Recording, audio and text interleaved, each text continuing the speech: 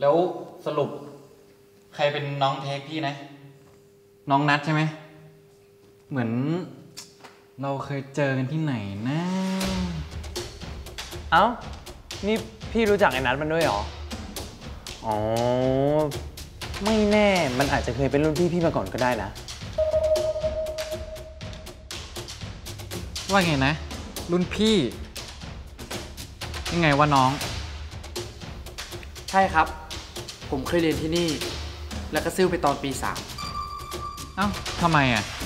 3เรื่องส่วนตัวครับ เฮ้ยเฮ้ยเฮ้ย